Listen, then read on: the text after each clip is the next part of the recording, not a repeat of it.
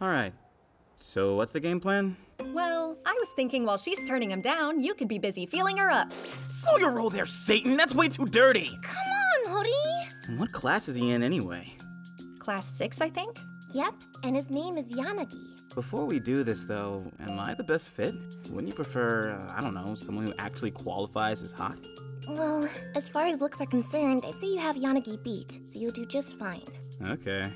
But you only have him beat by a hair. My hair or his? We should probably get a move on. Mm. Are you coming with us? Heck yeah, I am. It's bestie support time.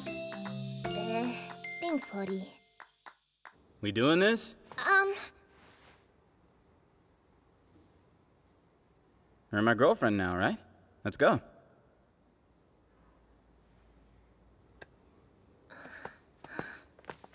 I forget who's even in class 6. It's hard to remember when you don't see him all the time. Maybe Ayasaki knows him? just for today. All you have to do is stand there. I'll handle the talking. You sure? You agreed to help me out with this, so it's the least I can do. It's a pretty big sacrifice. But I wouldn't mind if I got just one word in. Something that sounds tough. I'll be like, she's mine, pal, so keep your hands off. Look, you're only supposed to pretend to be my boyfriend! That was pretend. Whatever. Chime in if you want to. I can't hear a thing. Uh, there he is. Sorry I'm late, Yoshikawa. Thanks for waiting. Uh,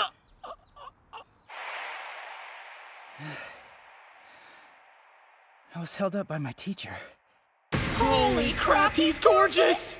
He's a zillion times hotter than Toru. Come on. Uh, yeah, I am. Hi. Oh, nice to meet you. I'm Akane Yanagi from class 6.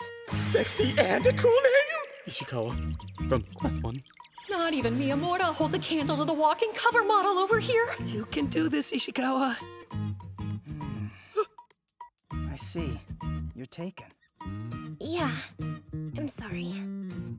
I'm genetically inferior on every level. Hell, if he asked me out, I'd say yes in a heartbeat. Yoshikawa's out of her damn mind. Guess it can't be helped.